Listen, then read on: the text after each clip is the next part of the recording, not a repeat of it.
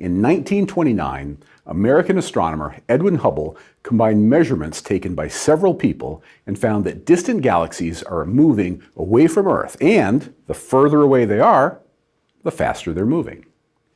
This is now understood to be evidence that the universe is expanding.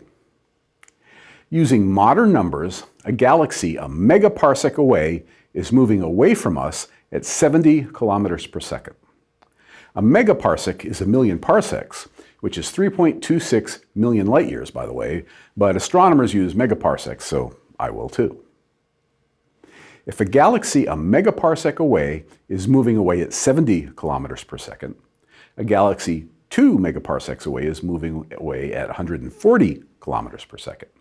3 megaparsecs means 210 kilometers per second, and, and so on. So we know that the speed of light is 300,000 kilometers per second. So we can figure out how far away we have to go to have a galaxy moving away from us at the speed of light.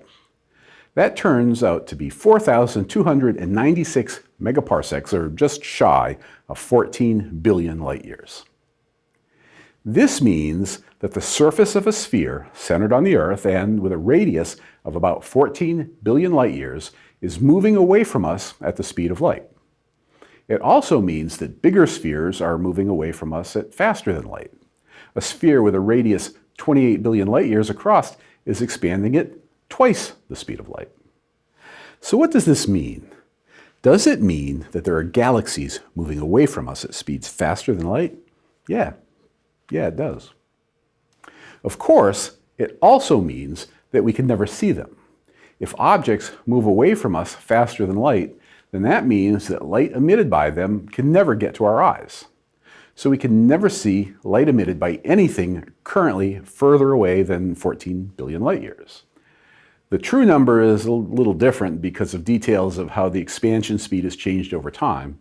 To get the number right means we have to take a more nuanced approach than I'm doing here, but those details really don't change the big message.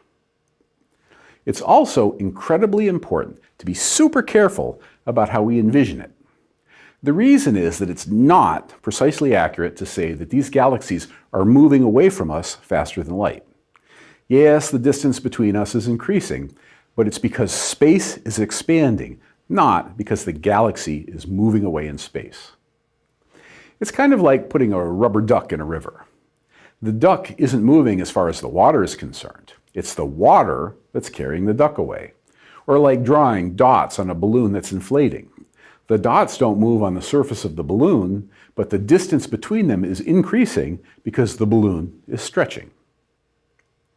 So it's entirely fair to say that there exist galaxies that move away from us faster than light, but only in the sense that the expansion of space makes it happen.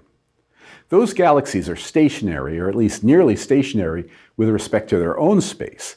They're not moving through space.